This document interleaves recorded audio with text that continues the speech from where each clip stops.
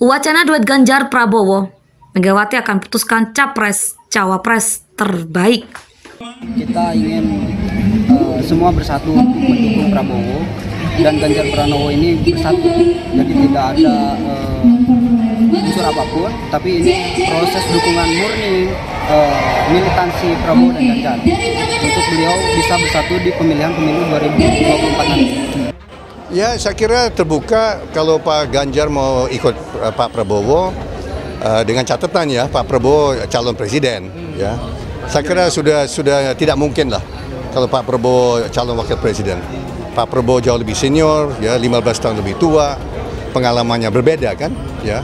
So saya kira uh, kalau Pak Ganjar mau ikut mau diduetkan atau diduokan dengan Pak Prabowo ya saya kira kami terbuka untuk itu Pak Prabowo terbuka ya sebagai calon wakil presiden. Iya.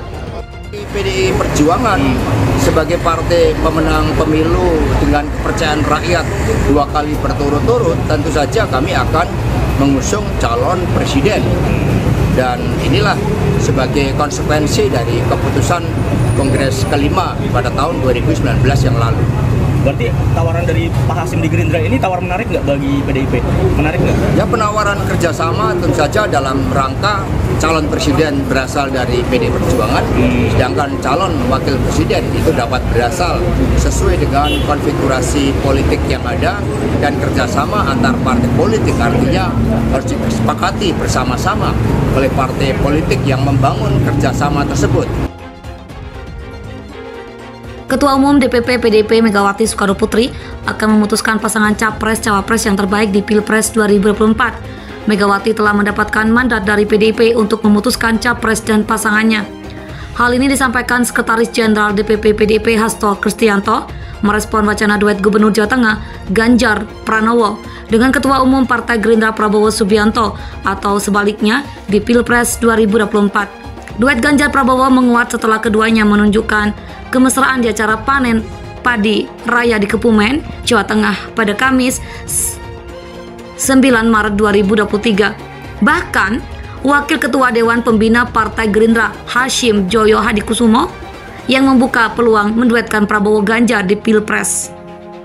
Ya, nanti Ibu Megawati Soekarno Putri yang akan memutuskan pasangan yang terbaik dan sesuai dengan yang menjadi harapan rakyat, kata Hasto saat ditemui di kawasan Sentul, Kabupaten Bogor, Jawa Barat, Senin 13 Maret 2023. Hasto pun menjelaskan bahwa kewenangan Megawati memutuskan pencapresan sudah berjalan di PDIP selama ini.